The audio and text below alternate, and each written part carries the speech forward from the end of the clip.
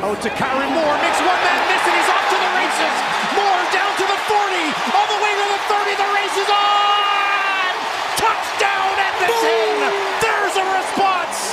Kyran Moore for 70 yards, and the Elks lead is extended.